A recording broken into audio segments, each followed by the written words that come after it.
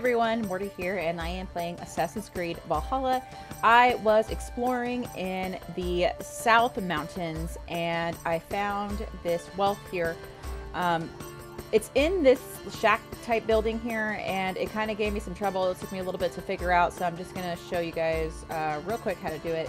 So go inside, light your arrow as so, and then come back out towards the front look up and aim your arrow at that spot right there. And now we just wait.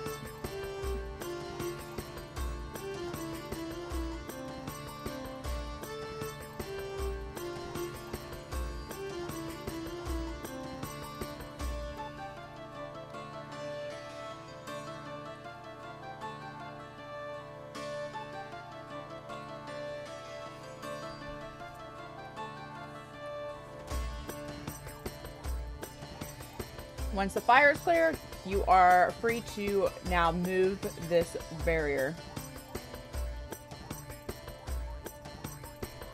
And there is your chest. Hope this video helped. I will see you guys next time.